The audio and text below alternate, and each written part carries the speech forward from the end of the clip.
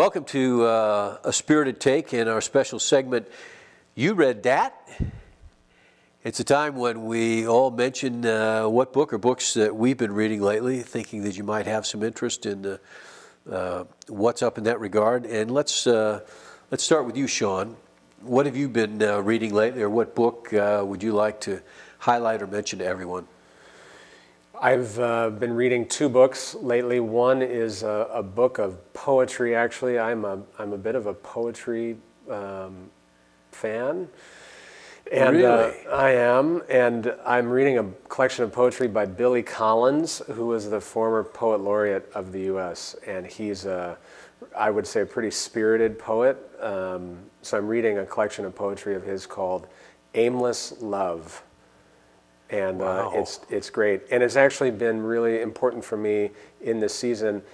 Uh, poetry has a way of slowing your heartbeat down and slowing your whole body down when you read it and sort of ingest it. So that's been an important kind of spiritual practice. So Billy Collins, Aimless Love.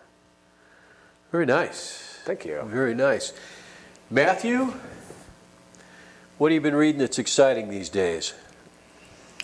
Um, I've been reading a lot on emotional intelligence because I'm working on a particular project related to it.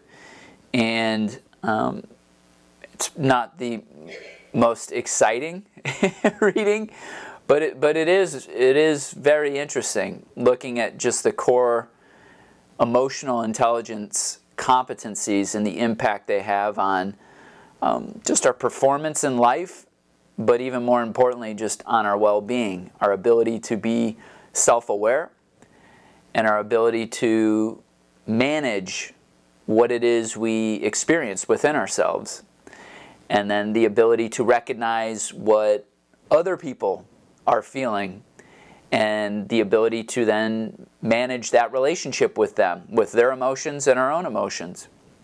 And so it's these relational, emotional transactions that we have on a day-to-day basis and just learning to be more aware of, of how they work and what we're responding to and how we're responding, etc. And um, it's good stuff. Good. And you uh, have fish, just finished writing a, uh, a new book, is that correct? The Mindful Breathing Workbook for Teens. Yep. And when does, uh, when does that come out? Mm, this summer. Fantastic. We look forward to that. Thank you. Uh, the book that I've been uh, reading and just finished is uh, titled Sleep by Nick Littlehales. And uh, Littlehales was a consultant to some of the great athletic teams uh, of the world after spending some of his time uh, in the sleep industry, selling mattresses and everything else under the sun. And what he did was he helped high performing athletes uh, toward higher performance by increasing and enhancing their sleep. And so he did a number of, of studies and he uh, has captured all that in this book simply titled Sleep. And he talks about the importance of uh, paying attention to our circadian rhythms, uh, what kind of uh, environment we sleep in. Uh, he even talks about that the way we go and buy mattresses and stuff like that is a little bit uh, of, a, of, a, scam. And uh, it's really a fascinating book. He also is a major advocate of thinking not in terms of an eight hour sleep cycle, and that's what's important for us, uh, but to have segments or sections, and we can break it up during the day. And he talks about the importance and value of, of taking naps, which, uh, frankly, I'm a big believer in. Count me so, in. He counts you in.